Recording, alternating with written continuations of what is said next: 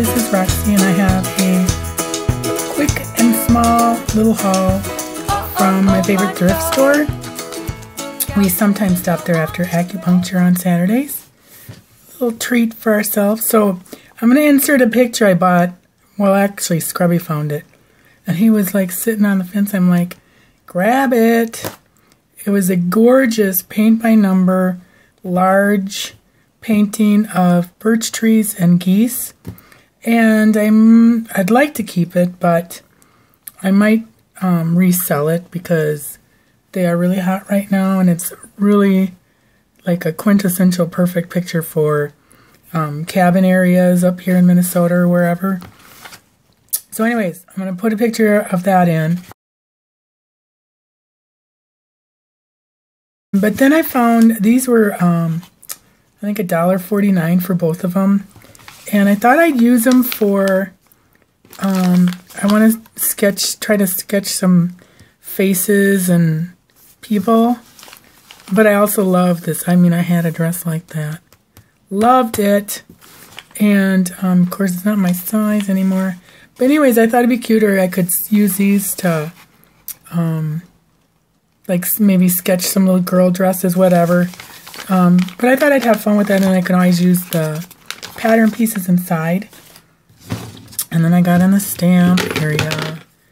These two were a dot, no, two ninety, two forty nine for both of them. And I know they had more in this series. I think this is from two thousand five.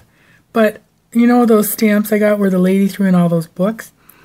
I actually came across these in one of the books and thought, God, those are so pretty because I don't really follow Stampin' Up! a lot.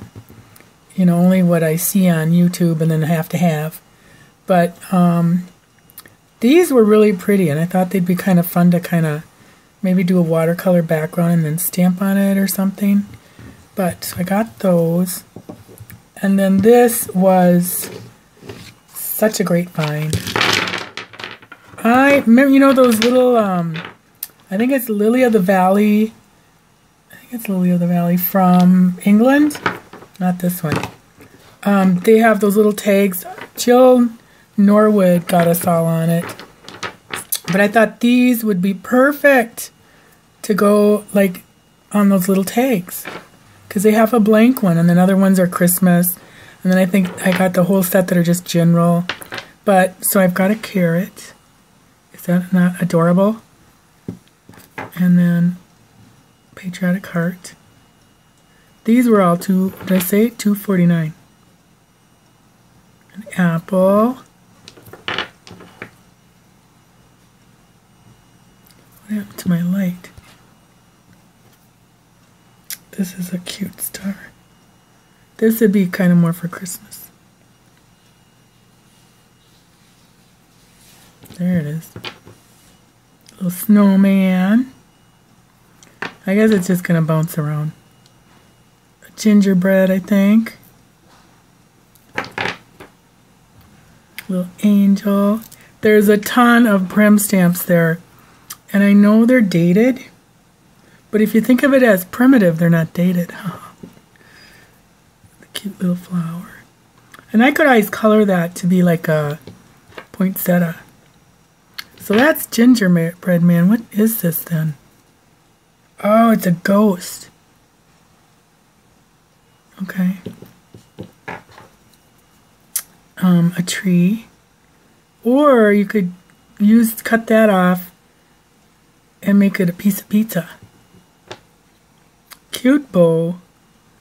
Those would be super cute on those tags.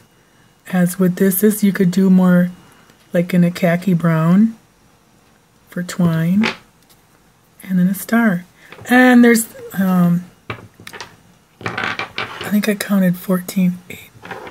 yeah there's 14 so I'm not sure if that was the whole set because I didn't see any anywhere else so that's a cool find and then I found this one for 49 cents my remember that company my sentiments exactly. I got a bunch of their stamps.